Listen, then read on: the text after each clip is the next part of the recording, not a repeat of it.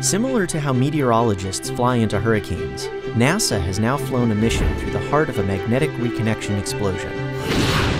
We call this mission MMS. This team of four spacecraft studies magnetic reconnection, the powerful explosions that occur when magnetic fields collide and realign, a process that occurs regularly throughout space. Close to Earth, and throughout the universe, space is far from empty. It contains electrons and ions, and most importantly, magnetic fields. This dynamic environment is unlike anything we experience on the ground.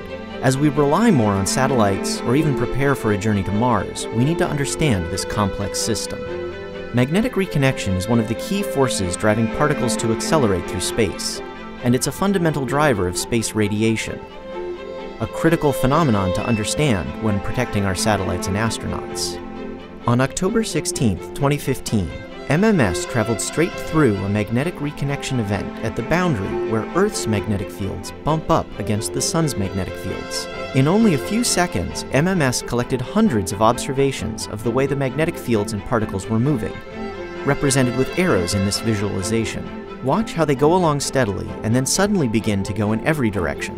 This is the point where the magnetic fields reconfigured and particles were sent racing off at high speed. For the first time, we have observations from the epicenter of an energy transfer as important to how things move in space as gravity is to how things move on Earth. This is just the start.